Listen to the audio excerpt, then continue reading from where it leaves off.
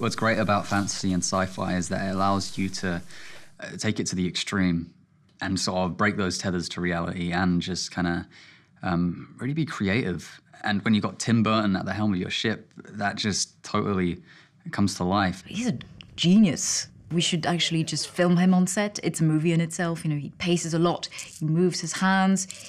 He's like this. He's always like there's a volcano inside, and it's wonderful. Yeah, he's like a mad conductor. He's a very visionary person, you know. He has to see everything, which is why I had like seven shoe fittings to make sure that the, the shoes were right, because that's so important to him.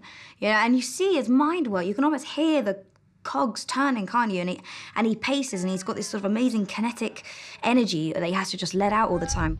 Action!